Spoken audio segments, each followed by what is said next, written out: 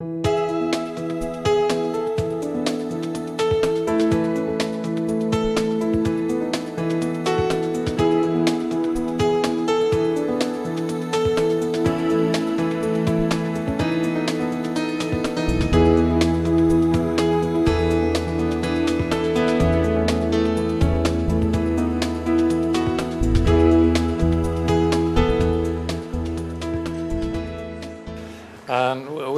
distinguished visitor this, this week. We're trying to be as uh, wide ranging in our visiting our distinguished visitors as we can be.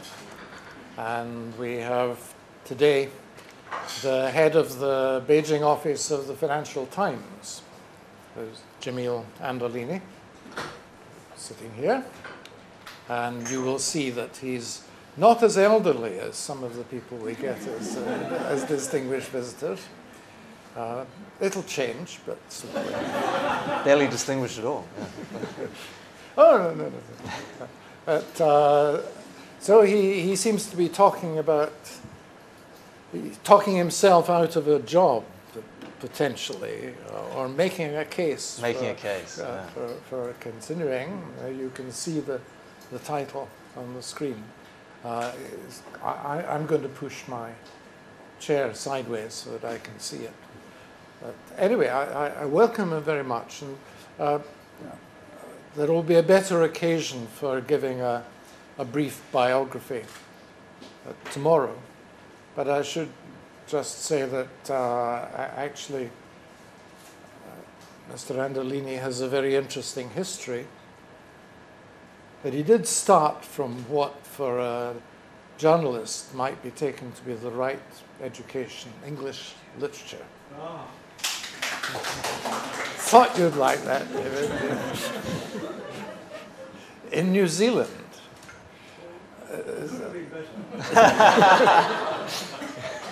That's what I told my parents. and he has already come quite a long way. Uh, the Financial Times has been doing such good reporting on China that you might reasonably think that it no longer counted, uh, that he no longer counted as a foreign correspondent.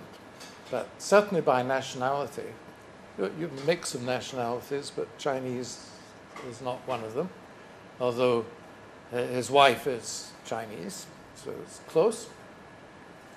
Uh, I look forward to dis- this discussion and be ready to prod him with questions and comments when, uh, when he's finished.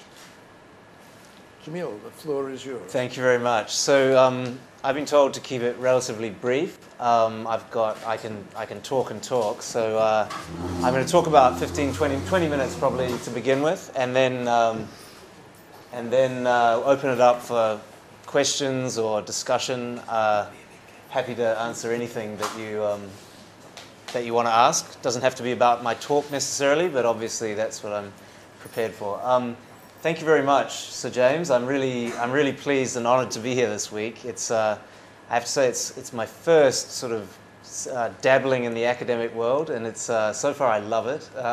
Uh, um, lots of dinners and chats, and uh, um, I've been I've been doing some work. As you, I picked up the um, I picked up, I stole the newspaper from the uh, downstairs, the Financial Times, um, and uh, because that's actually my story. And uh, as I was saying, I had dinner on Monday night with some of the professors, and uh, I had to go away and take a phone call. I had to go back, and I had to finish writing the story. And then I was very pleased to see it um, full page in the paper on Tuesday. So. Um, being in academic life gives me a lot of time to, uh, to go and do my day job as well, which uh, quite amazing. Um, so, the top of my, t- of my talk tonight is, uh, as you can see there, the role of traditional media and uh, the foreign correspondent in the age of Twitter and Weibo. Um, if you read the headlines, you'll know that probably um, from the outside, it looks like, and from the inside for a lot of people, it really looks like traditional media are in crisis, serious crisis. Um, but I'm going to explain to you tonight, hopefully, and convince you, hopefully tonight, why I'm, uh, why there is a future for what I do, um, obviously, it's a little self-serving. It's, it's, uh, I'm talking about my own future. But I truly believe um, that newspapers, in whatever form they end up in, uh, are going to survive. Newspapers like the Financial Times, the New York Times, the South China Morning Post, which I used to work for um, many years ago. I truly believe that, that these will not only survive, but will thrive in the future. And so I'm going to try and make my case for it uh, and hopefully convince you of that tonight. Um, first thing I'm going to show you is not my Twitter account. It's, uh, this is the Washington Post reporting on the Washington Post being sold to the, uh, the owner of Amazon, um, Jeff Bezos, the founder of Amazon. So this was just uh, the, the deal finally closed on uh, the 1st of October. This was a momentous occasion for anyone in journalism. We woke up and we're like, my God, when we heard it, I think it was a month or so earlier. This was a really big deal because this is someone from new media buying old media. And obviously, the Washington Post, many of you will have seen movies about uh, Watergate. That was the, you know, Washington Post broke the Watergate story. Um, it's, it's really the kind of, when we think of what is the old, great, powerful institution in, in uh, old media, it's this newspaper. Um, and so this was a real wake up moment, I think, for, for the industry. Um, quite scary for a lot of people, especially working at the Washington Post, since they probably many of them thought they were going to be out of a job quite soon. Um, uh, but I think um, another, another thing that was even more uh, of a shock, I think, for everyone was the sale of the, um, was the, sale of the Boston Globe, which happened uh, also in, in August. Um, and I've got another thing here. The, uh, the Boston Globe was bought by a guy called John Henry, who owns the, uh, the Boston Red Sox. Uh, I know some of you are big Boston Red Sox fans. Um, but uh, he bought there, yeah, um, he bought the Boston Globe for $70 million in August. He bought it from the New York Times, and the New York Times in 1993 paid 1.1 billion for the Globe for the Boston Globe. So it's gone from being worth 1.1 billion 20 years, uh, 20 years ago to being worth 70 million. That's a big, I'm sure the finance uh, students in the room can work out the uh, percentage drop. Um, really scary for, for, well, terrible for the New York Times who've lost a lot of money, but uh, also quite worrying for journalists because you see how your value has uh, decreased over just a 20 year period. Uh, other, other newspapers you can see on here, there's the uh, Philadelphia Inquirer was, Inquirer was sold for even less, 55 million. The Omaha World Herald was bought by Warren Buffett. Uh, I, my hunch is that if, he, if he'd bought it this year, it would have been worth a lot less than 200 million. I think he probably lost quite a lot of money on that as well. Newsday, Minneapolis Star Tribune, the LA Times went bankrupt, Chicago Tribune. So if you're looking around as a foreign correspondent in Beijing, for example, you're watching correspondents from the LA Times go home and no one come to replace them. You're watching people, actually, there is one person for the LA Times still left. Uh, she'll, she'll never leave, I think. Um, but uh, there are, you know, you watch one after another these smaller newspapers, smaller news organizations, their foreign correspondents are leaving. Uh, it's, it's a it's a worrying time. It's a, it's a scary time. Um, most people, and especially I would say advertisers, are asking why they should pay for ink on, printed on dead wood. Um, why would you want a clunky newspaper website that gives you something that's trying to charge you for something you can basically get free on the internet? So this is the thing. I mean, this is why journalists like me are uh, maybe looking around at academic postings and uh, other things around the world, you know, other possible career paths, just in case, you know, we're sold to someone who doesn't believe in journalists or doesn't believe in uh, foreign correspondence, for example. Um, the new media and the, uh, the whole shift onto the web and the shift of advertisers in particular, this is really changing not just our, the economics of our industry, it's also changing the way that we do our jobs. So, when I used to come in in the morning to the FT, I've been working at the FT for about seven years. So, I started seven years ago, I was the junior guy in the office. Uh, I was very keen. I'd come in the morning, and but it was really nice because what I could do is I could first read all the Chinese papers, then I could read the Western, you know, English papers, and then I could go to a press conference or have a meeting, an interview, um, and then I could go back to my office and I could read what Reuters and Bloomberg and uh, the uh, Dow Jones and the wire services, who have to do things much faster, uh, I could read what they said about the press conference I was just at, and I could sort of cheat a little bit and say, oh, you know, they missed this or they missed that. And I could kind of, I, I never copied anything, of course, but I could go, oh, that was a good idea, yeah. And I go back to my notes. And so it was a kind of a leisurely existence. At the end of the day, about 4 or 5 p.m., maybe 6 p.m., I would sit down at my desk and I would, uh, I would write a beautifully crafted, uh, relying on my English literature degree, uh, even though it was from New Zealand, but still, you know, um, I could rely on that and write these these beautifully crafted. You know, I'd maybe read a bit of Hemingway, oh, get some inspiration, go write my, you know, my uh, a couple of paragraphs, and I could I could do that end of the day, and then I would send my story off by email or yeah, usually by email and it would go to my an editor in Hong Kong, and then the editor in Hong Kong would maybe make a few changes, send it to an editor in London. They would maybe make a few changes, not usually with my stories, but with other people's a lot more changes. Uh, and then they would put it in the newspaper. And then, as a kind of afterthought, a day later, uh, it would go up on our website at something like 10 a.m. the next day. I mean, it was as a really an afterthought. You, you'd look at the website, and it would be kind of the things you'd read already if you'd read your newspaper um, and, and nothing else. It was literally a, a, bad copy of the, of the newspaper. Today I come in in the morning, now it's 8 a.m. instead of 11 or 12. Um, now I'm supposed to be there really early.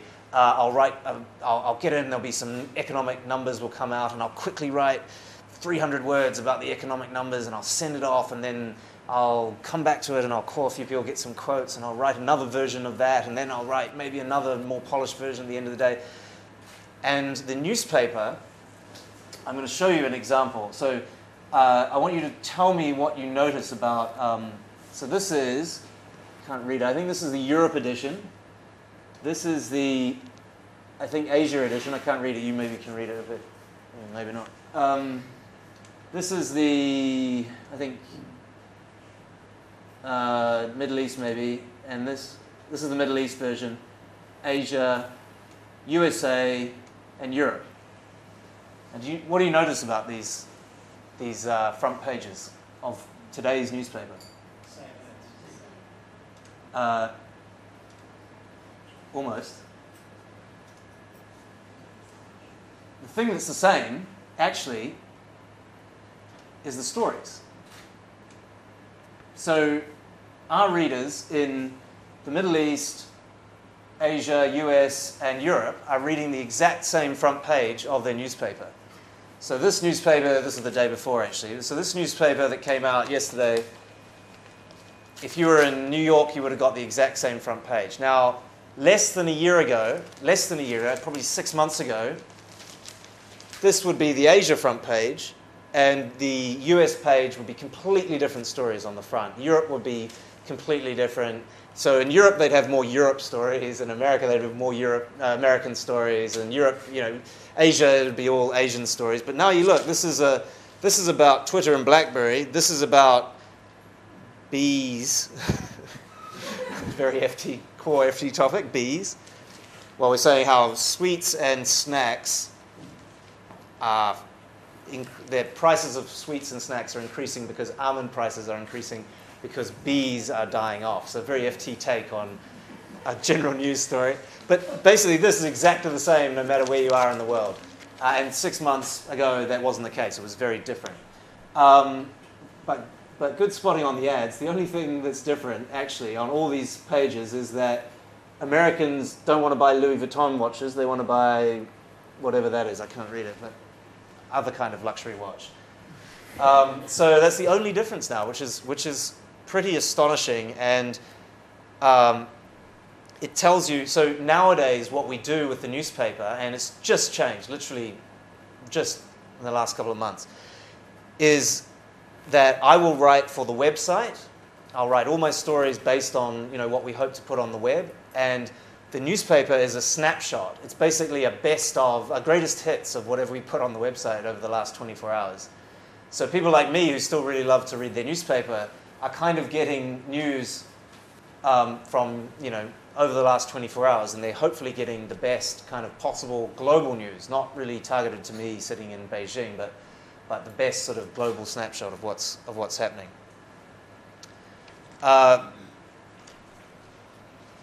we've also, what we're doing is we're talking about moving to something like a broadcast schedule. And this is a really interesting concept for us because we, we are used to dealing with deadlines. And it wasn't just different uh, international editions that we, that we used to do. We also used to do various editions through the evening. So, for example, um, the front page might be about bees, but then uh, a plane flies into the Twin Towers. And so the second or third editions will be about that, obviously, a breaking news event. We no longer have pretty much the capability to do that because, but we can online, we'll be instant. We have, we have stories up there that, uh, on, on the latest breaking news. Um, but we no longer do these kind of uh, uh, multiple editions. Um, so that's a, a, big, what, what this means for us, effectively, at the moment at least, in this transi- transition stage, is that I, I, mean, my specialty and what I love to do and what wins prizes and gets people knowing who you are are investigative, investigative pieces, pieces that are deep, uh, thoughtful journalism. Uh, I like to think ones like uh, this one that I, uh, that I did on Tuesday's paper that I was writing after the dinner we had. So this is a full page. It, um, it took me about a week or so, and it's, it's really, you know, lots of interviews, lots of finding out what is, what is it like for foreign businesses right now in China and how is that going to change and uh, what's happening with Xi Jinping, what is he talking about in his propaganda and what, what's happening, why is he locking up lots of journalists and, uh, and dissidents and uh, why is he talking like Mao Zedong and why are the posters of Lei Feng everywhere in Beijing, which is kind of nuts. But, uh, um, you know, so that was, that was, you know, a serious piece of work. But in order to do that, I had to literally say no to a desk editor in Hong Kong who's trying to fill the website. I had to say no probably 20 times in the period of that week because he'd call me up and say, Oh, we need a story about something. I said, No, no. I'm working on my long piece about, uh, you know, why are there posters of Lei Feng everywhere in, uh, in Beijing. So, really, the problem we have at the moment from a very practical perspective is that we don't have the time or the space or the energy to, to do the real, the real journalism that really makes a difference, that wins the Pulitzers. We haven't won a Pulitzer yet, but we're going to. Uh, that wins the prizes, that, that does, you know, makes an impact, that makes everyone sit up and say, wow, that's, uh, that's a really big deal. Also, for the smart media that have really under, or really starting to understand how social media has, uh, has changed our industry, uh, you know, Twitter, Weibo, uh, Facebook, these can be amazing tools for pe- to get people to come and read your stuff, right? So if you get something trending on on uh, on Weibo or you know Drudge Report or Huffington Post or one of these big news aggregators that starts that picks up stories, if you can get something trending on on those, you'll get millions and millions more. You know, sometimes literally millions of people coming to read your story and linking through, and sometimes it's it's stories about bees and things that just get happen to get picked up by some young intern at Huffington Post decides, and then suddenly that's your story goes massive across the web. So there are there are some news organizations that have really uh, understood this. There's one called Quartz, which is very interesting. It's online only, and what it does is it's built everything around social me- media. And the idea is that everyone should be, they want everyone to come to them through Twitter, through uh, through Facebook. So, so it's obviously can be a very powerful tool for getting your story, stories out to a, to a much broader audience. Um, now, possibly it's because I'm, uh, uh I'm only 36, but in the world of uh, new media, I'm almost a dinosaur, unfortunately. Um, so here is my really, really bad uh, Twitter um, front page. There's a really bad photo I took in the hallway of my office. Um, you can all see that. Yeah, terrible. I keep getting mocked about it. Um, and here are my tweets. The last one I did was. Does it have the date? I don't, I don't go on Twitter enough for me to know even. But that is the sum total of my tweets. I did them all in a sort of one day period. one, two, three, four, five, six tweets in total, all on the same thing, which is a story I was really proud of and I wanted everyone to read. and it only came out on September 21st. So you can see the first and last time I properly tweeted was uh, September 21st, or around about then.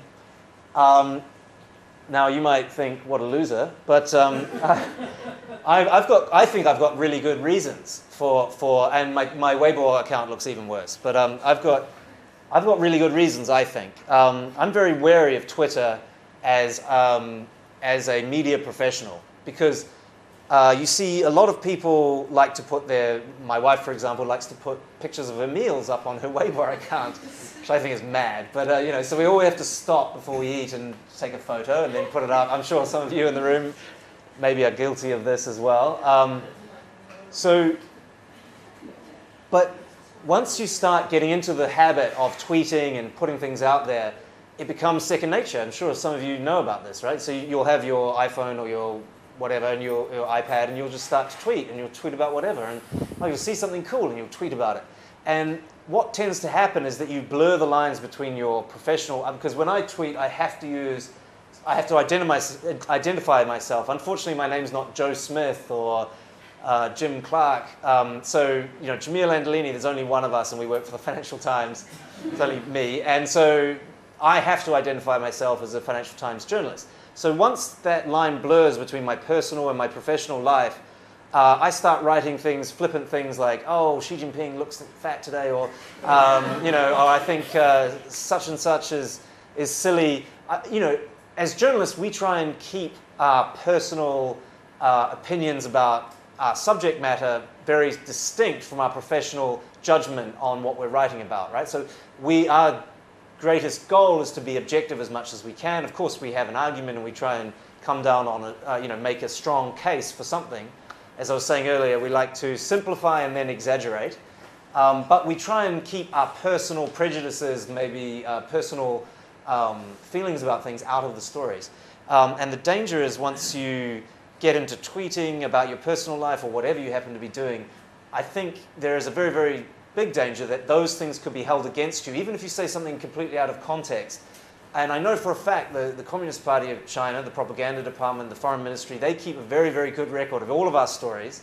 Um, and everything, well, they keep all our emails too, although they, that's not public, but, um, and I can't avoid that. But uh, they do, you know, monitor us very, very closely. And if I'm out there publicly sort of throwing ideas around and throwing thoughts around, um, I'm, I'm da- endangering my reputation as, a, as an objective, independent journalist, I think, and uh, also the reputation of the Financial Times, which is um, really, I would say, very valuable. A 125 year old brand. We were, we were established in 1888 and uh, have a relatively good brand to, to protect. So um, I'm also really worried about drunk tweeting. so I'm worried about one night maybe having a couple too much wines with Sir James and then sort of stumbling home and saying something wrong or you know silly or, or misspelling something you know then who knows? Nobody knows that i've had a few too many wines. And then people read that i can't spell properly but i work for the financial times. I mean really you know that would be a loser thing to do. So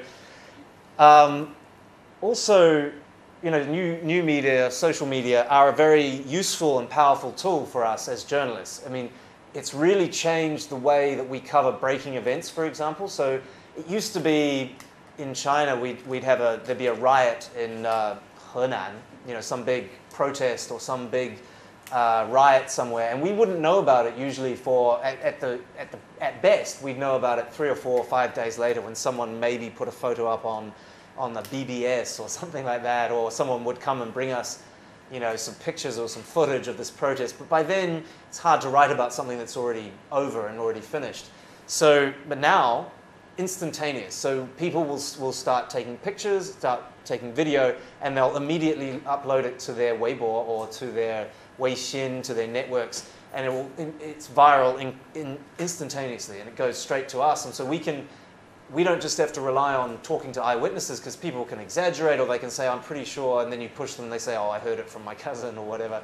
Um, if they've got video and pictures up immediately, we can judge for ourselves, having seen bombings and riots and these sorts of things in the past, we can judge is this big or is this small? Do we need to care? Do we need to write about it? Do we need to um, really follow up. So it's a very powerful and important tool. But at the same time, because it's democratized information and information uh, gathering and, and you know, news, news uh, uh, spreading, it's, uh, it's been democratized, but at the same time, it allows anyone um, who, you know, many people who don't have the training or the judgment or the uh, experience as a, of a journalist, they can literally hear something from their cousin or their brother or their ayi or their driver or whatever and say, oh, oh and put it straight onto the, onto the uh, internet on their Weibo as if it's a fact.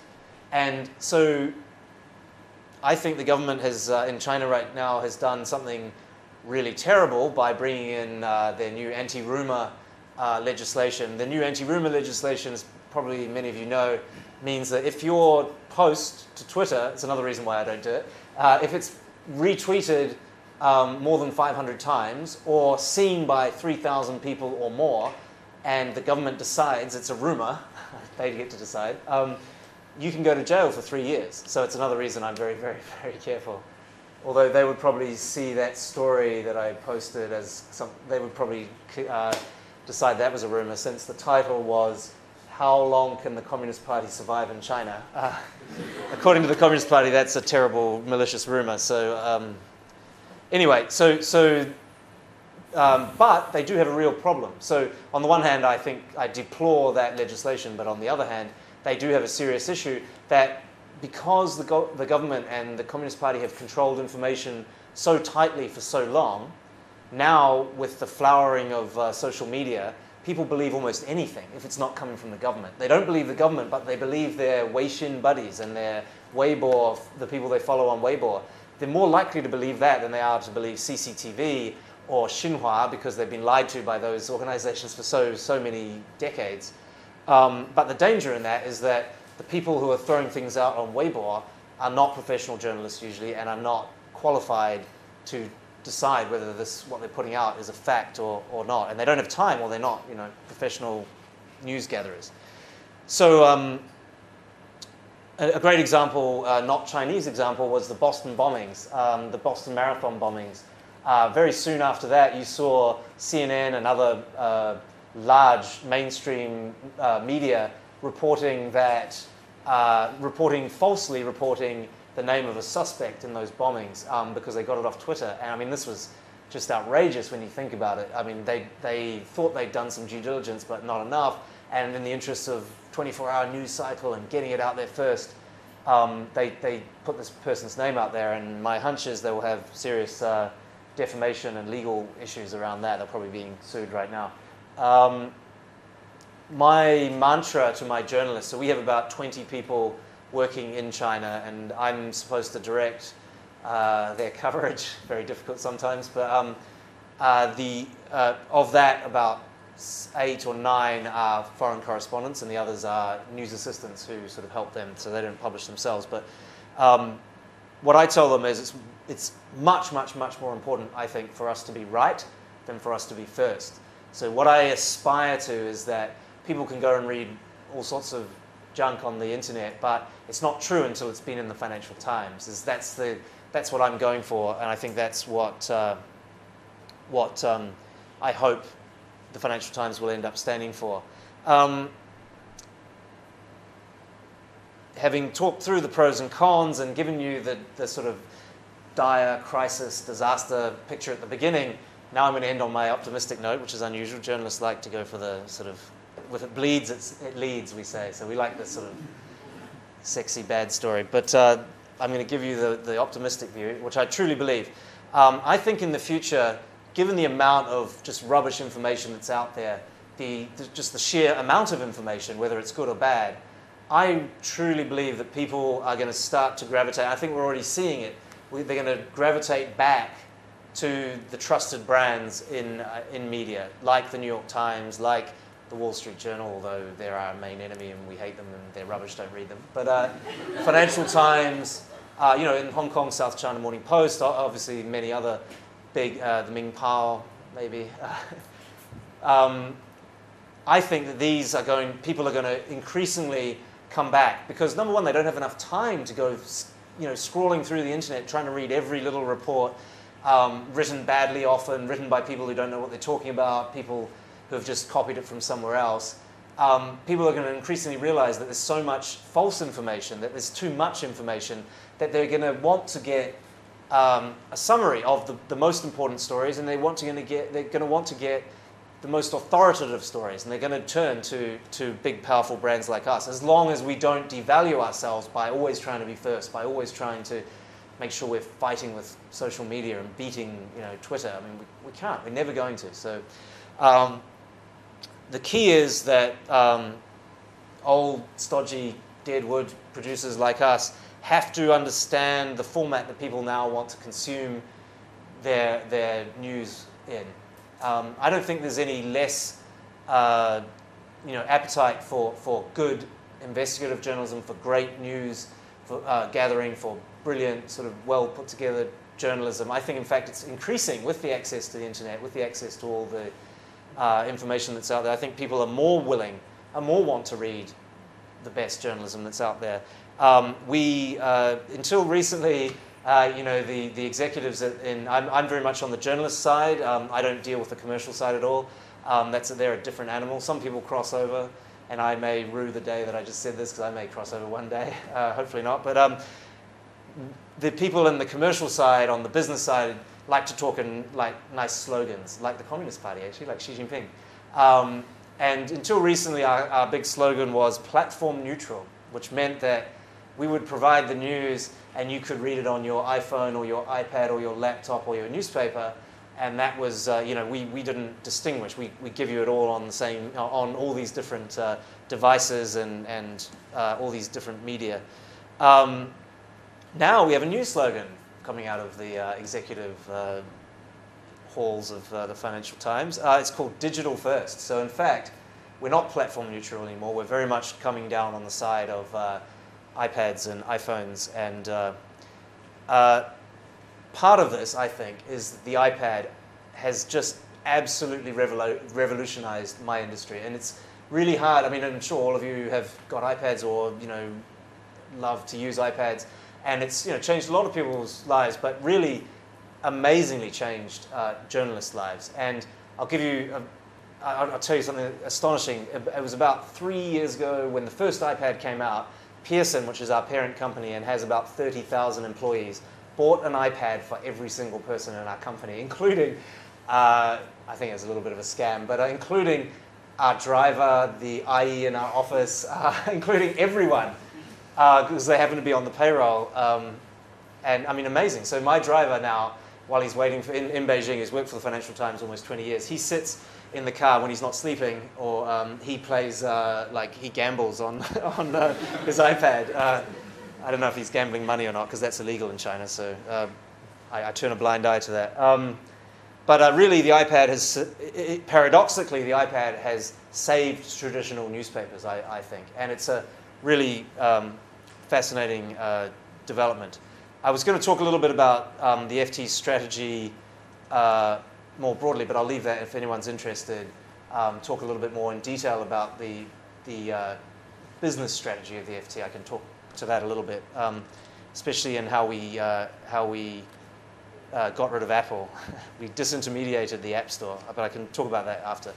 Um, I, I, would say, give one note of caution. I think that we have to be very careful about press freedom. There was a, in an earlier age, of uh, there was a guy called Randolph Hearst who was the big newspaper baron in the, uh, a long time ago. I think we're, you know, if you look at how things are going for many newspapers, particularly in the US, you're seeing people like Jeff Bezos, so charismatic individual owners buying up newspapers. And uh, you have the owner of the Red Sox. It's almost, you know, he owns, a, he owns a baseball team.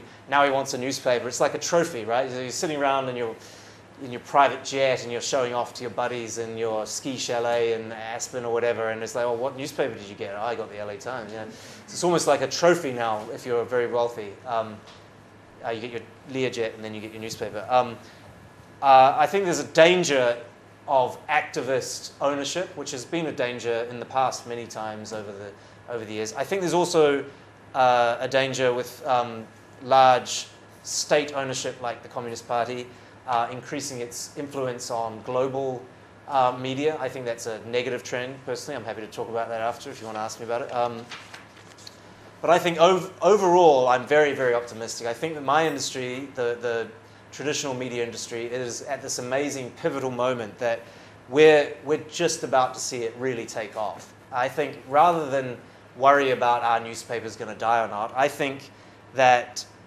I believe that people all over the world are going to be able to access my stories in the next in the coming years in a way they never were able to before because we didn't print in, for example, New Zealand, unfortunately. My mum can't read my stories because we don't print in, in, in New Zealand. Um, but now she can read it on her iPad.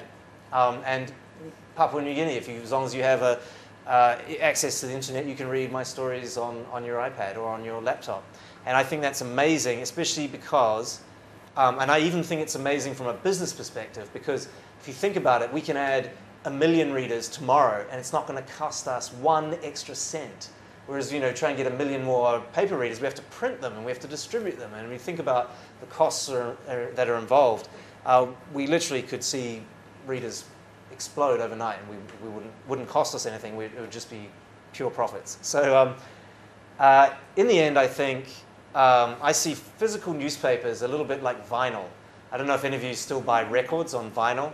There you go, DJs in the house. Uh, so, um, Mei-Ling's a DJ, right? So, uh, so the, um, I know that, you know, people used to say the records, the idea of the record vinyl is dead, it's never going to be around. But now you can go to specialty stores in big cities and you can buy vinyl for people who really love to listen to music on a record or who are DJs. And and I'm convinced that in the future, in Hong Kong, maybe New York, probably not in New Zealand, but in, in New York, in, in London, in uh, Hong Kong, I'll always, when I'm an old man, because I love reading a newspaper, I'll be able to go, or even not so old man, in the 20 years maybe, uh, I'll be able to go into a specialty newspaper store and I'll be able to buy a newspaper and smell it and you know, go and sit there and drink a coffee and not have to be rubbing the, my iPad and I, I truly believe that's what, I mean, I don't think newspapers are ever going to die. I think they'll end up, probably eventually, they'll end up like, like vinyl does.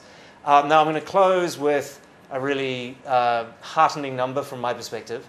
Um, and this is very current, as all journalists should be. Um, last week, the FT reported uh, very close to 400,000 digital subscribers.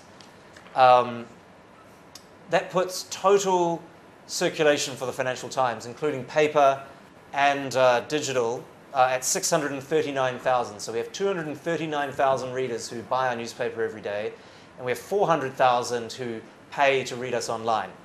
Now, that 639,000 overall circulation happens to be the highest ever circulation in the 125 years of the Financial Times. So for me, that's a, obviously a very, very uh, heartening sign and uh, something that I hope means that uh, I'll be around for a few more years. I won't have to go into academia or, um, or anything else uh, for a little bit longer yet. So, um, on that very cheery note, I'm going to um, wrap it up and uh, I can talk about the FT business strategy a little bit, in the case of Apple a little bit if you like, but I'm happy to talk about whatever you want. I'm happy to answer any questions you might have. And maybe I'll change the screen because you have to look at my really embarrassing.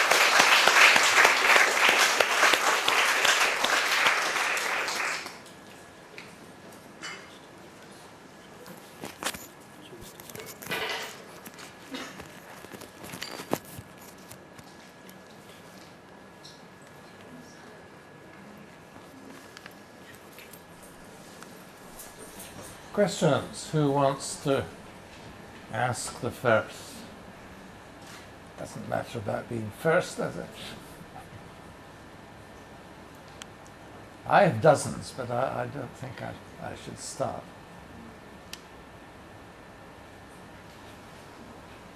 Ross. I absolutely agree with you about um, the danger of tweeting. But for our the youngsters around us, have they ruined their reputation even before they join the workforce? It's a, it's a big issue in, uh, in the UK and US and other places. We've actually seen a few stories in the media about um, young people who, who weren't hired because of what they put on Facebook, drunken, you know, a, you know, antics, and while they're at university, while they're at college, you know, um, it, it's a really big issue, and it's what I mean. I've always been really paranoid about is You know, uh, a friend of mine took a photo of me, um, you know, jokingly holding my daughter over a balcony like Michael Jackson one time, and then she put it on her on her uh, Facebook, and I had to call and say, look, you know, I work for a very reputable newspaper. I don't want to look like Michael Jackson. I mean, it wasn't that bad, but still, please, can you take down the photo of me? And I was on holiday in New Zealand just with my mates. You know, it was very much very different from my my uh, work life. But you know, that's the danger, right? And uh, even worse than that, I have to say, is that some of my friends and even acquaintances from uh, you know 10, 15 years ago have started to post there like, hey, remember this time? And I have a uh, small confession to make. You can find these pictures online, unfortunately. I used to have long dreadlocks, um, which also doesn't fit very well with my image as a financial reporter. Uh, so you can, you know, when someone starts putting your dreadlock pictures of you when you're like 22 or whatever up online, and uh, yeah, not so cool. Um, so I think it's a real danger, and people should be really aware of it because I know, for for example, um, I, I, don't know if the Financial Times does it. I'm pretty sure they would, but many many potential employers will go first and look at your Facebook. We as journalists, when we're like trying to do investigative stuff, one of the first places we go is LinkedIn we, we friend someone on LinkedIn, on, uh, we go and check their Twitter, we go and check their Facebook, and we try and get as much as we can. You can find huge amounts of information on, on people. And it's not just uh, you know, potential employers. You know, the NSA is watching you. The, uh, the Chinese government is watching what you're doing. But, but corporations are, are collecting a whole lot of information about you what you, I mean, even what you search online. I use a VPN even when I'm not in China. I have to use a VPN in China just to do my job. But I, I use a VPN no matter where I am because I don't really want, um, you know, Walmart or whatever knowing what, you know, camping equipment I'm looking for. Do you know what I mean? Like, I just, I'm a little bit like, you know, I'm spied on so much in my daily job in Beijing. You know, I mean, they bug my phone, they bug my office, they bug my wife's phone, they follow me everywhere. You know, I kind of want to be as much as I can anonymous and I think you know everyone should be aware of that and should be cautious when they're. Very true. So I was on the judging panel for some local award, and we had to do due diligence. And the due diligence is to go Facebook. on the website to yeah. find those applicants' information. Yeah. Yeah. So. Yeah. Do a Google search. You'll find a story I wrote about something ridiculous.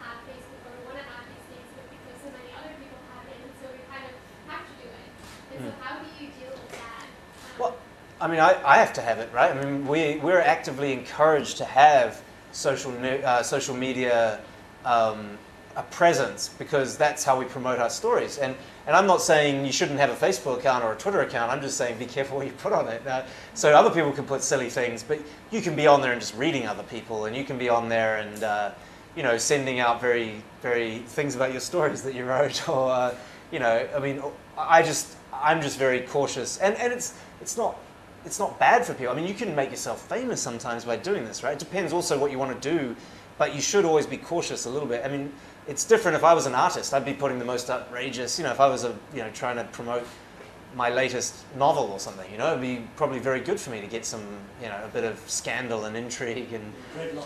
Dreadlocks, exactly. Wow, that's right. Yeah, yeah. That's when I knew I probably wasn't going to be an artist. That's when I cut them off and went to work for the FT. But actually, um, I went into I talked to the editor who hired me at the South China Morning Post because um, I had short hair by the time I went to work for them, and I told him I had, you know, I showed him a picture. He said I would never have hired you if you'd come in looking like that. So it is true, uh, you know, haircut and a real job is, uh, you know, it's a point in everyone's lives where, where we do it. So.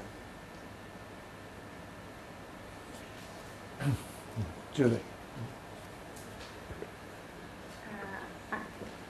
Actually have two questions. Uh, you were you were being very optimistic, uh, looking at it from the point of view of re- readership. But you started your talk by um, mentioning some figures, you know, uh, big corporations buying up the traditional media. So, it, and you said the, the, the, you and your colleagues were quite shocked.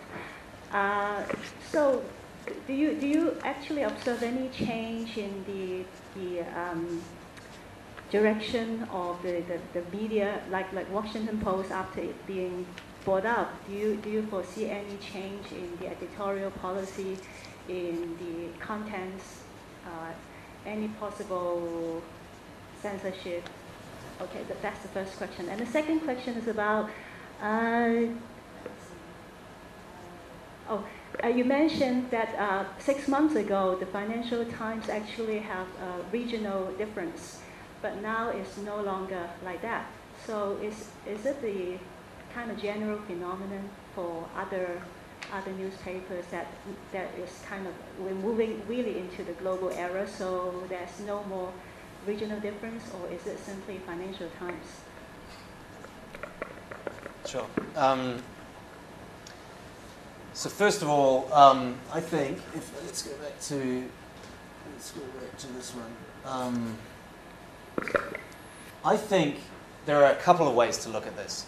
Okay, so the Boston Globe used to be worth 1.1 billion, now it's worth 70 million. That's a bit shocking and a bit depressing if you're a journalist or you're in the industry, and especially if you've watched how many journalists have been fired in the last uh, you know decade, all over the world.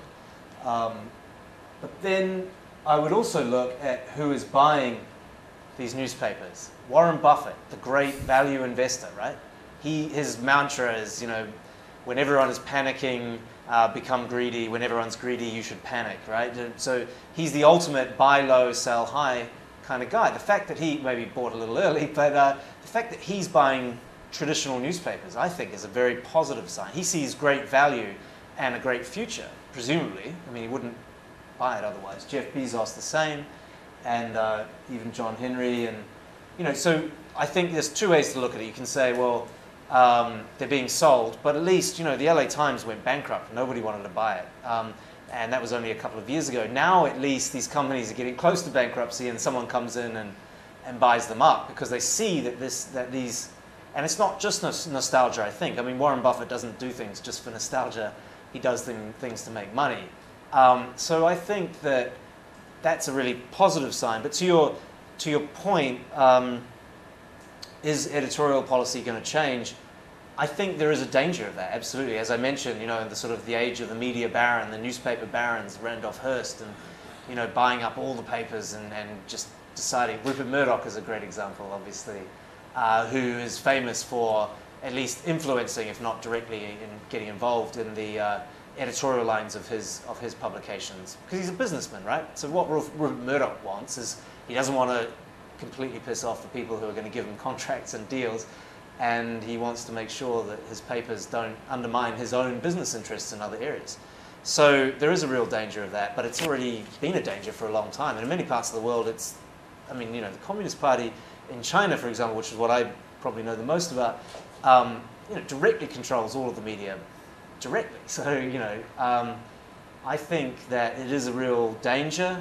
I think that um, Jeff Bezos, for example, I think with the Washington Post, he's already pretty much promised to not get involved in the editorial side. He said he's going to save them from a business side, but he's not going to tell them what to write. Um, but it's been a tension forever. I mean, it's only, it's probably only been the last few decades, and only really in America, where I mean, UK is still not fully independent media, I would say, in a lot of ways. So, I mean, it's only really the US that has, and for a short period of time, that was able, I think, to, to really separate the ownership from the, from the uh, you know, editorial line. I mean, UK, we do it, I think, pretty well. But, uh, I mean, especially the FT. Uh, but, you know, you can see it with, especially Murdoch's papers. They would never write anything that was really, really bad about Murdoch. And when they do, they get fired. Um, so that is a real danger. Uh, but I'm, I'm optimistic about people like Bezos. Uh, and I'm optimistic that if we can start to really make money, then it will and, and become very. We're, we're more, we're more uh, uh, in danger of what you're describing if we're really in crisis and we're not making money and we have to be saved. Because then we'll, we'll kind of, you know, we're relying on you know, someone to save our jobs, we'll do what they tell us to do as far as editorial line. But if we're making huge buckets of money, they're not going to start to meddle with the formula, the secret sauce that we hopefully have. Now, on the uh, you're asking about the um, the phenomenon of the uh, uh, joint editions, single global editions. So that is, um, I think, happening more and more. But in the extreme, what's happening is people are doing away with print altogether. Newsweek is a good example. Um, you know, they were bought by the Huffington Post, it Huffington? Daily Beast. Sorry, they were bought by the Daily Beast, and then um, they just Daily Beast got rid of the paper edition altogether. Um, you're seeing around the world people shrinking their, their print circulation all the time. Um, and we're doing that too because we're losing print. Uh, slowly and by sort of very small amounts, we're losing people buying our paper, but we're massively gaining people who read our, our website. So, yeah, it's definitely going to happen. I, like I said, I think the eventual end game is specialist stores will, will still stock our beautiful pink uh, newspaper. But that'll be it. Um, I don't think I'd be Perhaps I do then. Um, I was just going to say, actually, The Guardian seems to be going in the opposite direction. Um, from my observation, anyway, The Guardian seems to be coming out with a US, um, a British, obviously, and, and also an Australian edition. There may be others, but they're the ones I'm, I'm sort of I'm aware of, and they all seem to be they all seem to be different. And in fact, they are actually sending they're actually opening up offices in, in Australia and the US. I think it's probably been you know more established. So they seem to be following a slightly different model from the Financial Times, and I don't quite understand. I mean, actually, I don't understand what drives the the Guardian, or where they get their money from, is a, is a complete mystery to me because actually um, they it seems to defy gravity the way they the way they're expanding. So that's, that's that actually that's just a comment, not really a question, but maybe you have something to say about that. But the other thing is um, your optimism being built on um, on having more and more subscribers, but but at the end of the day, how do, how does that correlate with what I would think would have thought was your bottom line? Uh, would be the value the value of, of, of your advertisers. You know, in other words, at the end of the day, you know, your bills are paid, aren't they? Are they not? Or again, maybe maybe you need to say more about you know how, how the business works. But I've always assumed that at the end of the day, your bills are paid by your advertisers. And uh, so, um, are you saying that when your subs- number of subscribers goes up, then then then then the value of the advertising just grows exponentially? I suppose that's what you're about to say. But I I'd be interested to hear how you how you actually how you answer that question. Sure, absolutely. Um, okay, actually, um, because the Financial Times is uh, has a paywall, um, what the numbers I'm talking about, the 400,000 subscribers, all pay for the content online. So um, they every single one of them will have to you know give us an annual subscription fee um, we, are a little bit like uh, crack dealers. We give you eight, uh, eight free articles a month so you get a bit of a taste, and then we slam you and make you pay for it the next one. So uh, get you so hooked, hopefully. So basically, you're saying the subscriptions actually pay your bills. So uh, this Financial Times is very proud of the fact that about two or three years ago, our, subs- our other business, so it's subscriptions and it's conferences and other things that we do, uh, is a lot more now than uh, advertising. So when, you know, the, the great problem we had in the financial crisis, for example, was advertising. Advertising revenue is extremely volatile. It, it you know, bounces all over the place. So one year it can be way up, and then next year it's way down. It's the first thing people cut when they're when they're you know hit a crisis. Uh, big corporations they cut the advertising budget. It's the first thing, right? So we've tried very hard and moved very quickly. I think better than most people, most organizations, to to uh, relying much more on, on our other revenue streams rather than, rather than advertising. Of course, advertising is still a big thing. That's why we have luxury watches on the front page every day. But um, we're trying to shrink it down and down because it's, it's just, you know, we can't survive when you when suddenly you lose 50% of your advertising revenue, you can't fire half your journalists and then hire them back next year when you get the, the watch companies come back. So, so we really, we're very lucky in that sense that people are willing, apparently, to pay for at least for financial news and for specialist news like we hopefully provide. So, so that's um, uh, one thing. but still, of course, advertisers are very important for us, and um, often it's not how many people read your paper, it's how well you can convince an advertiser.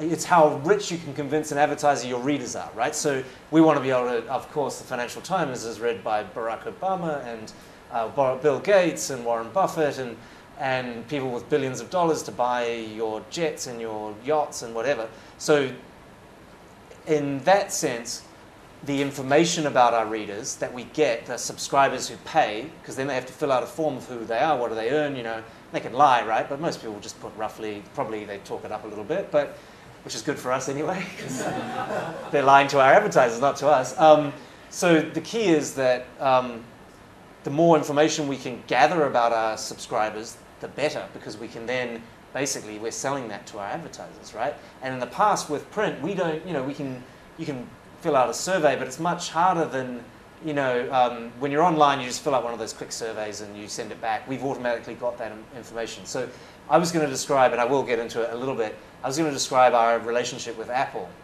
which I think is really, really interesting, and what they do to newspapers. They're, Apple is evil, man, because what they do, at least for us, what Apple did is they said to us, well, you know, you've got this iPad app, and you, you know, you've got an iPhone and an iPad app. That's, that's lovely. We'll let you put it for free on, you know, of course, you can download it for free on the App Store uh, the Apple, you know, iTunes, whatever. Um, but when people want to buy a subscription for the Financial Times, Apple keeps 30%. And we're like, okay, you know, well, if, we're buy- if they're buying it through your App Store, you know, that's kind of reasonable. But what was completely unreasonable of them to demand was they said that they would keep all of the information about our subscribers, that when the subscriber signed up, uh, all of the, you know, the data they filled out or all of their search information, everything Apple would keep that. We would have no way of reaching. We wouldn't know who our subscribers were. We wouldn't be able to sell that then to our advertisers, and Apple would be able to sell it. And so, in the age of big data, um, the more that corporations know about your searching behavior and about what you're interested in, the more valuable it is to them, and they can sell it on to advertisers. So, why the hell should we let Apple have that when that is in the end going to be by far more valuable than the two, you know, the 30 pounds or 50 pounds or 100 pounds they spend on a digital subscription. Us being able to uh, know who they are and what they do is much more valuable. So um, what we did is we told Apple to stick it, and you can't, uh, you cannot get the iPad app uh, on your uh, through Apple iTunes or the App Store at all. They took us off, so they said, "Okay, see you later. Good luck to you." Cast us into the wilderness what happened is we built a web-based app which was absolutely crap for about a year. Um, and I, I wouldn't be offended if any of you looked at it and decided you'd never read the Financial Times ever again. But now what we've done, we've invested a huge amount, and that web-based app is better than anything we had on the App Store and has you know, become extremely popular. And we've managed to cut Apple out of the whole equation, and it hasn't made that bad, it hasn't hurt our business that badly. And increasingly, you're starting to see other companies follow our model. Very quickly on The Guardian, um, they're following a strategy that we did 15 years ago. They're run by a trust, so they don't have to make profits so much. I think they're mistaken in the way that they're doing, but they're following a different strategy, as you say. Um, uh, the Economist is another good example. We own half The Economist. The Financial Times own half of, owns half The Economist. And they're, um, I think their digital offering is, is a little bit behind. I think that they haven't managed to really um, nail it yet, and I think that's partly because they, um, it's the, the danger of success. You know, they were so successful in print, for years they were just still expanding. There's something like 1.3 million print subscribers, and it was going up and up and up. Now I think it's leveled off, and now they have to really get serious about. They didn't have to. They were still able to sell magazines to people. So. Uh, the, the Guardian, though, is it's a, it is a trust. I mean, I believe in the idea of trusts, ownership um, by trust, because it means that you don't have the danger of a, of a, you know, activist owner, and you don't have the danger of a, of a government owner, or you know. So I think trusts are a great way, but the problem is they're not always. They're often journalists, not business people, and I recognise we do need people who understand the business side as well. Um, so yeah, maybe I think I'll. Uh, yeah. I have a question. I, I know that FT has launched a Chinese website, so how does it change things for you as a reporter slash editor? How does what?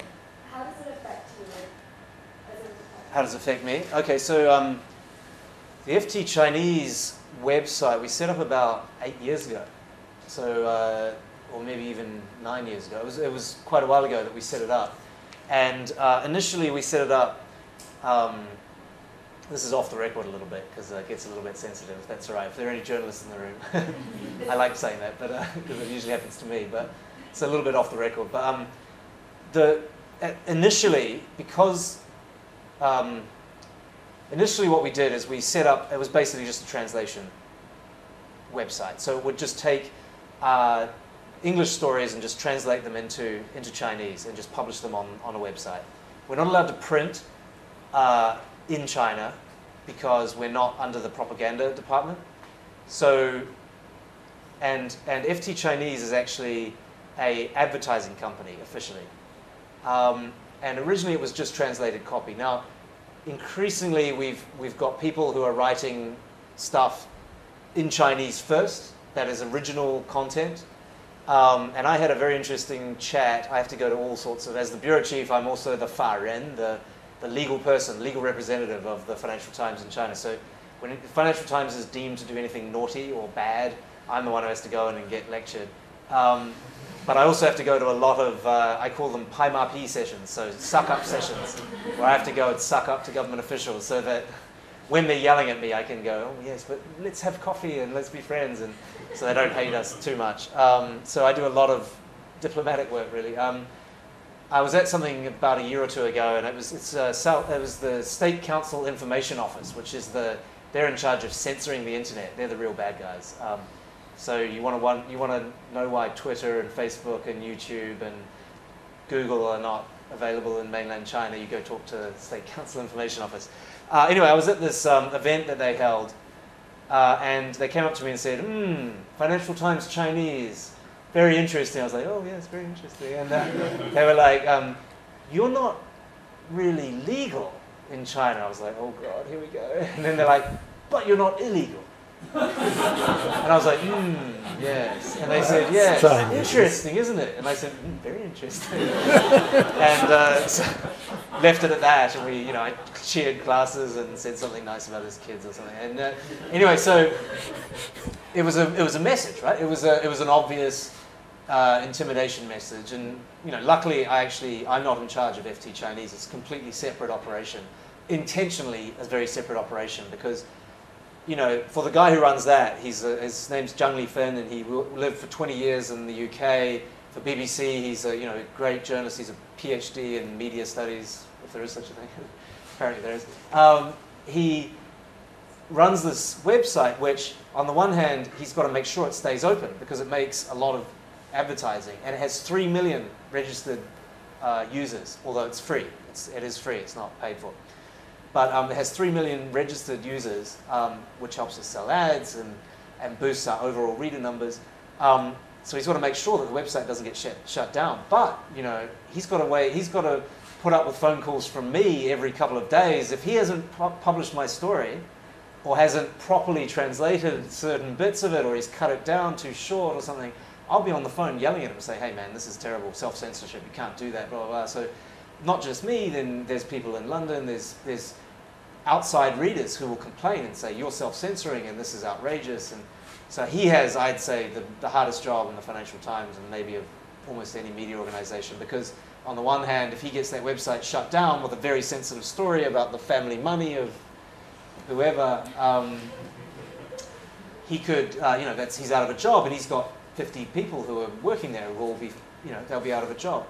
And the FT will be out of a lot of revenue and profits. Um, on the other hand, if he self-censors too much, he's, you know, he's open to really serious criticism. So I think he does a very good job of that. I think he manages to balance very, very well. But I don't ever want to do that job. They've talked to me about one day maybe. I'm like, no, no, no, not that job.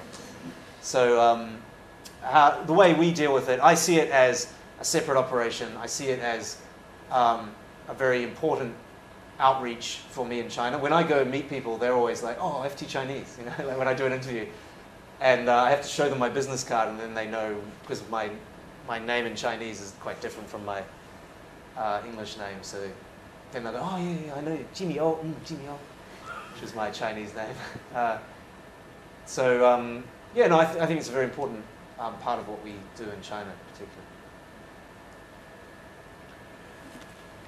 Uh, what I, I, I want to do is to shift attention, just, just at least for a few minutes, to uh, um, the, the other side of information, which is taking it in, uh, uh, to look at it from the point of view of the reader. Uh, because I, I, think very strikingly that both what you were talking about and what practically everybody has talked about was the presentation and the delivery of information, uh, which you know I think is enormously important. But uh, two, two things struck me relatively recently in, what, in the way I was uh, using news.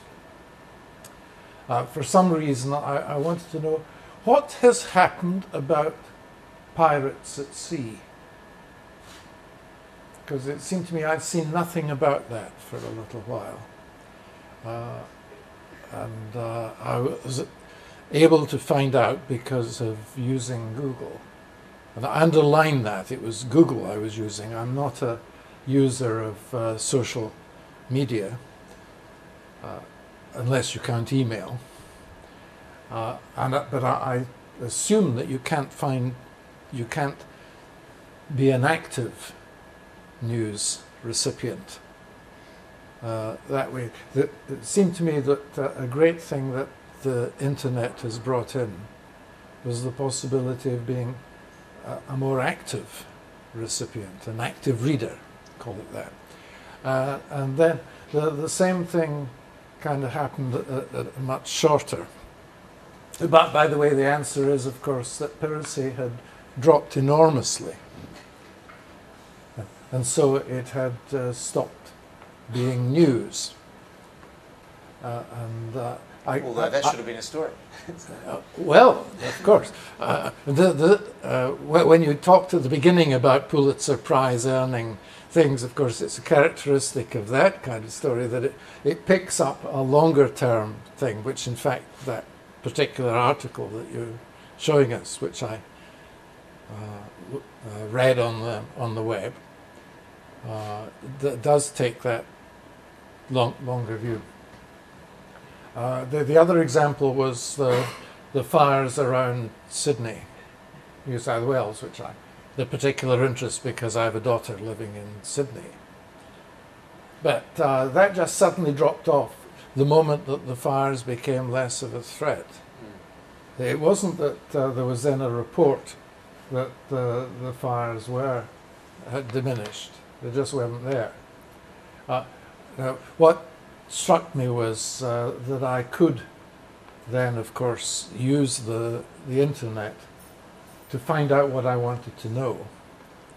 But it doesn't seem to me that either the traditional newspapers or the or, or Twitter or, or, anything like that uh, really does that. They are still passive providers of information. I exaggerate.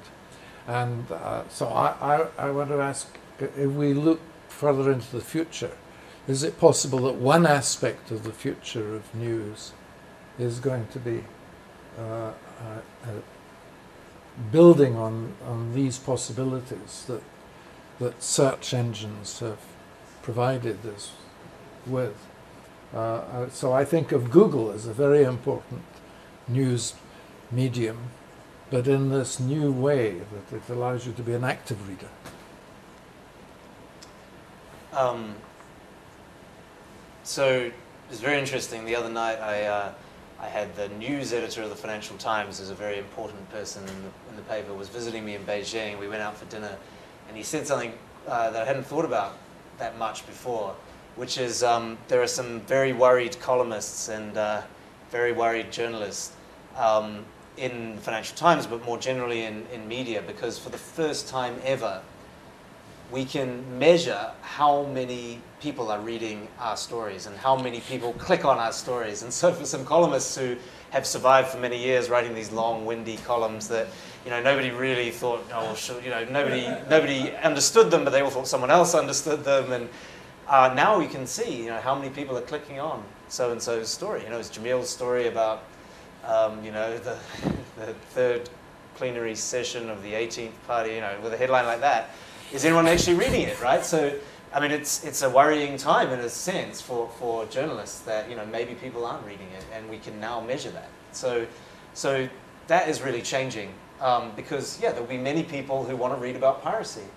And we can now, through, if you search on FT's own website, we'll be able to see how many people are searching for that term. And then the editors, editors, editors can look at that data and they can say, okay, we need more stories about piracy because everyone in Hong Kong wants to know what are the pirates up to. So, I mean, it is, I think that's already happening in a big way, especially I mentioned something called Quartz. What they're doing is very much actively doing the algorithms, working out what are people clicking on the most, what stories are people searching for the most, and then they're feed, they're doing more stories tailored to to that kind of you know to, to what the readers actually want. Um, you also, I think you're alluding to the idea of the news cycle where once something is no longer going to kill hundreds of people, it's suddenly off the news agenda. I've got to say that's, prob- that's been the case forever. Oh, yeah, Um, oh, yeah, sure. Yeah. But um, Yeah. uh, I think that social media has sped up the news cycle so, so that we pick up and we drop stories faster, but just because you have 24 hour cable news and you also have the internet, you can get things immediately and it's a trending, exciting topic, and then it's not anymore.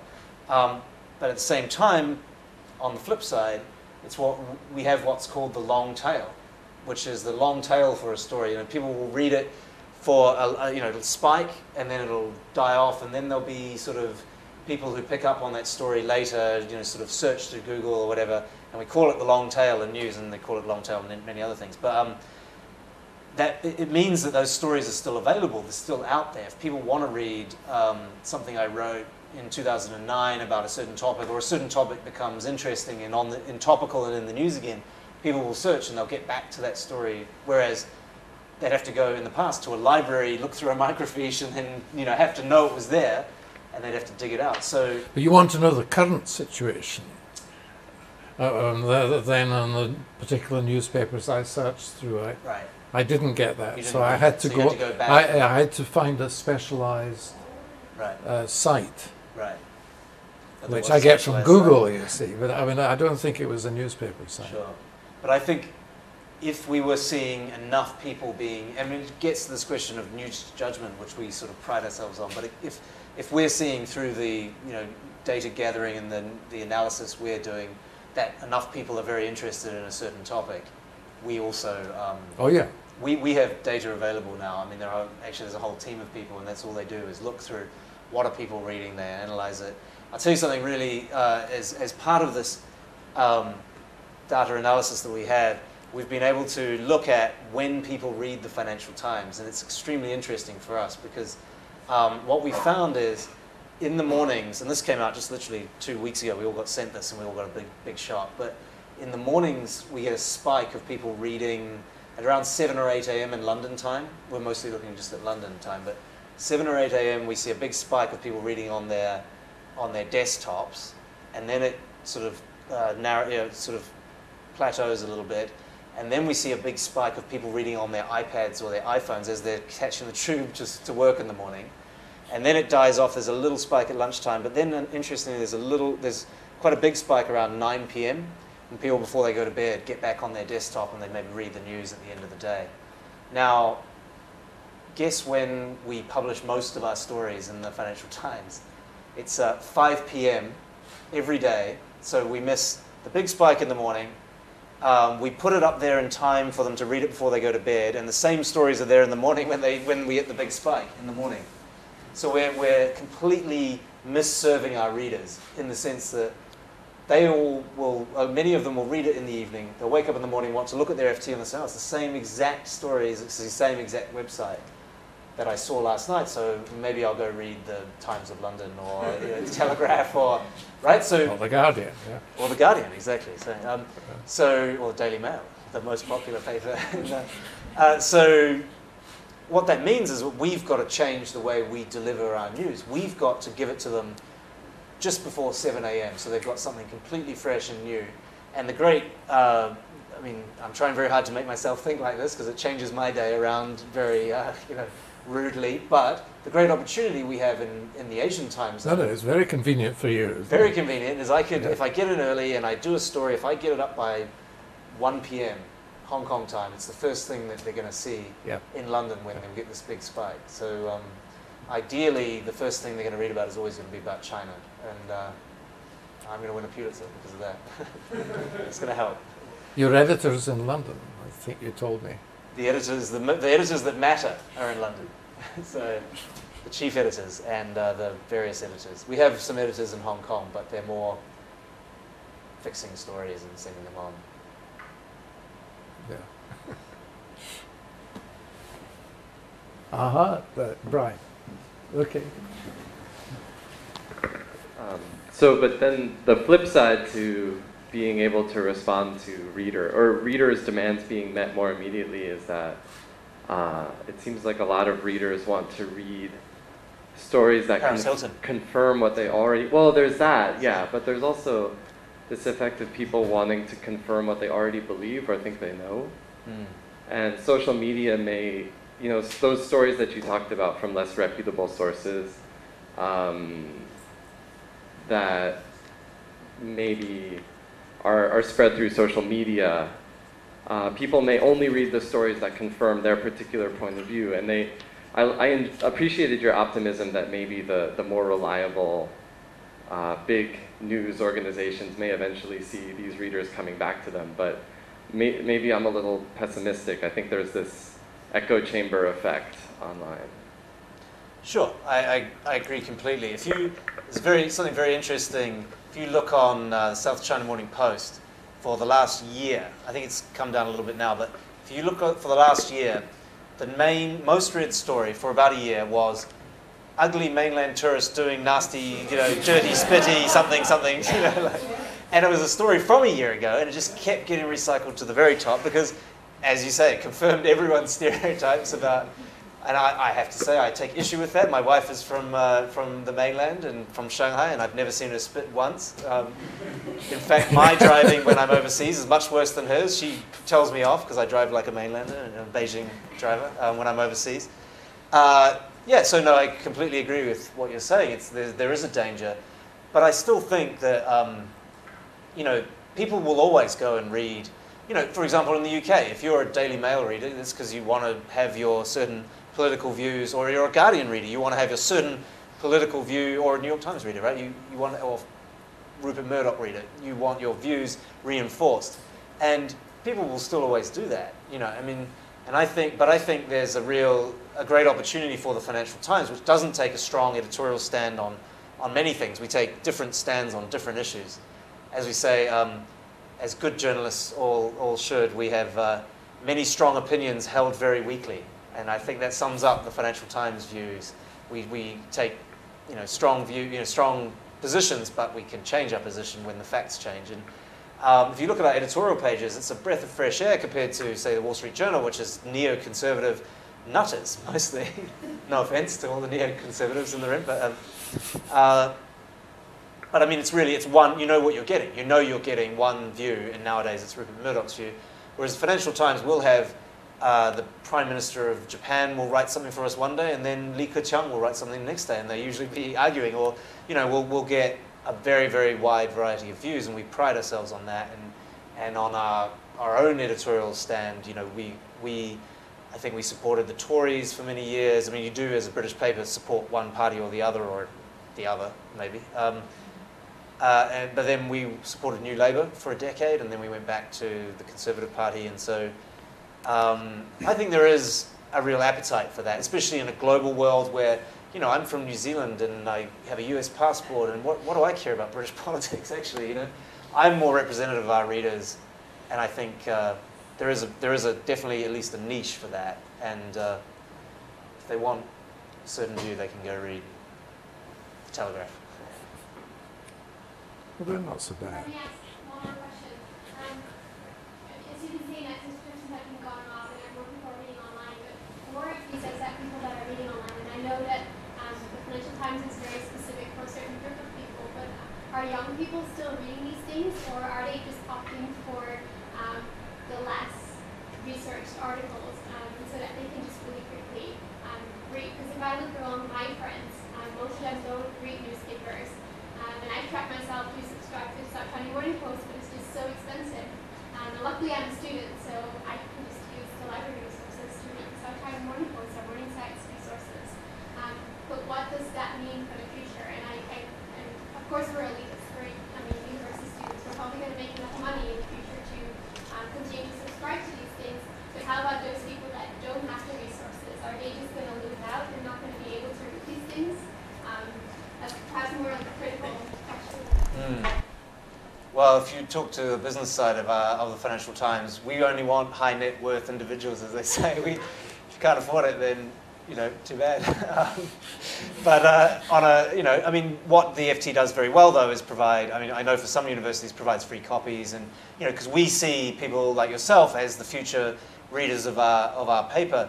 Um, I haven't looked most recently at the demographics of our readership, but we do have that information, and it's surprising how many young people actually do. Um, you know, it, it, the other thing that we've done, which I think, and I don't want to talk too much like the commercial side, but what we've done and we've worked hard at is because we're, we're like an aspirational brand. You know, like what we want is people like yourself going, wow, you know, one day I want to, ha- I, you know, when I have a good job, I'm going to first thing I'm going to do is get an FT and uh, you know, I'm going to get a subscription and you know, it's it's as aspirational as the watches we have on the front page, or you know, so I mean, I guess from a business perspective uh, and from a Financial Times survival perspective what we want is people aspiring to read us, young people aspiring and hoping to eventually read us. As far as what you're talking about, I guess is more the democratization of information and whether by charging a ridiculous amount of money for us, are we locking out many other people from our, um, you know, from, from our gorgeous information. And, you know, I'd, I'd say that um, there is so much available on the web. I'll give you a, a nice little hint. For most of uh, the websites, um, including ours, including the New York Times. This is really off the record, so I, the Financial Times or anyone from the FT asks you about this, tell, I, I never said it. But uh, if you go through Google, uh, so if you go straight to our website or any of the webs, New York Times or anyone else, you'll get five free articles and then you'll have, they'll ask you to pay. If you go through Google, you'll get 15. And if you go through uh, Drudge Report or Huffington Post, you'll get as many as you want for free. So, so you know, what we're there are ways to get information, and, and information is like money. It's fungible. I think you know, digital information is can always get out there, even if it's you know you you emailing your friend who has a subscription, they copy and paste and send it to you. I mean, you. I, I think that um, I'm not worried about information being increasingly locked in you know inaccessible silos. I think that's that's never going to happen to that extent. And um, I, but I do think that there, there should be a premium on high value journalism, high value information that, that, has, that huge amount has been invested in gathering. It shouldn't be given away for free. I, I agree with Rupert Murdoch on that front. Um, that people should pay for, you know, they're willing to pay for a newspaper. Why shouldn't they pay for articles online? And why not make a payment for one article instead of having to buy a subscription for a whole month or a whole year? Mm, because we're crack dealers, I told you. uh, no, again, off the record. Edit that out.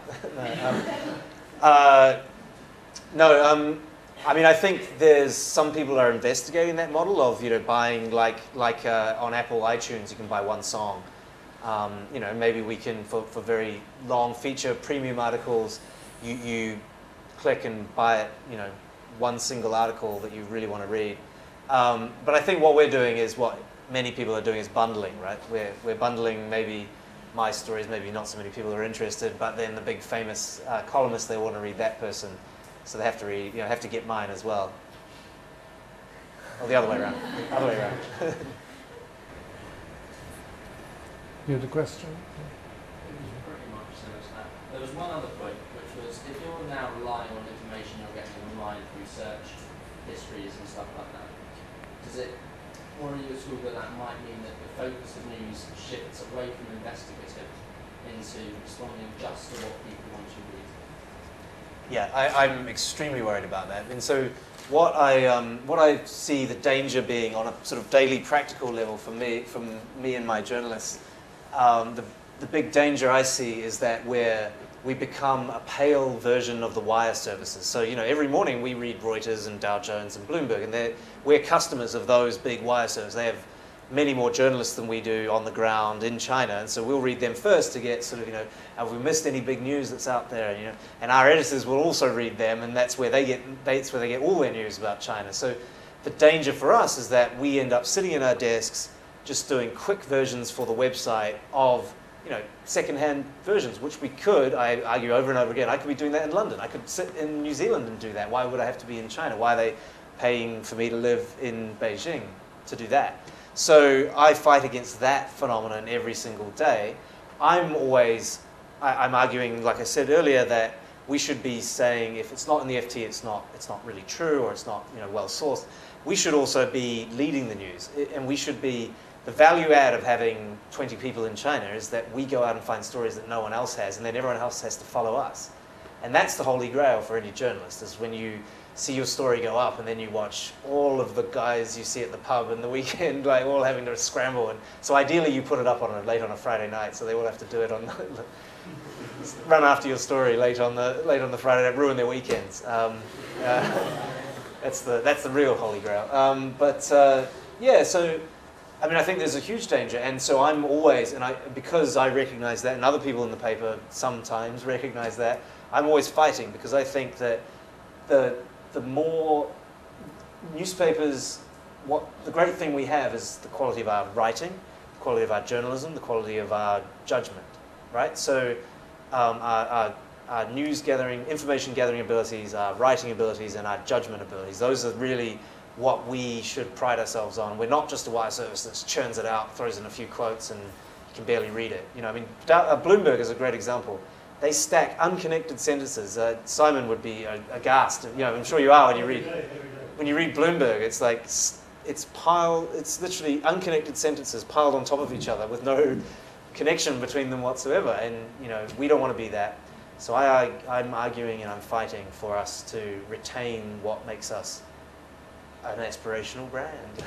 so, and that, but that means setting aside time and money to send journalists, say, okay, this journalist is not going to cover spot news for a week or a month. They're just going to work on this big story about whatever. I think I should uh, draw it to a close and thank you very much. Uh, uh, if we now had a vote as to whether newspapers are going to survive, yeah, please. Who thinks they're going to survive? We probably think the Should have a vote at the beginning and the end. Yeah, yeah, that's what I'm used to. I'm used to debating. So, yeah. so yeah. who thinks newspapers are going to survive? Yay! Who thinks they're going to die?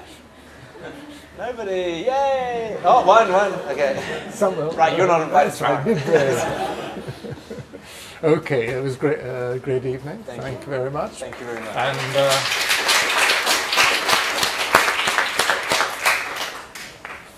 We give you a memento of Thank the of the occasion. Lovely. and we get photographed yeah, as yeah. a reward. okay.